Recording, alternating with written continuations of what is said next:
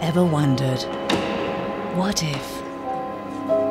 What would have happened if you didn't miss that train? If I had just caught that bloody train, it would never have happened. Get her to ring me or, or something. That's all I ask. What if you decided to turn left? There was a bottle of brandy and two glasses on the dressing table, wasn't there? You are insinuating, not very subtly, may I add, that I am. Are you having an affair? Sometimes the choices we make have nothing to do with our destiny. Sliding Doors, Saturday, Home Theatre, 9 pm.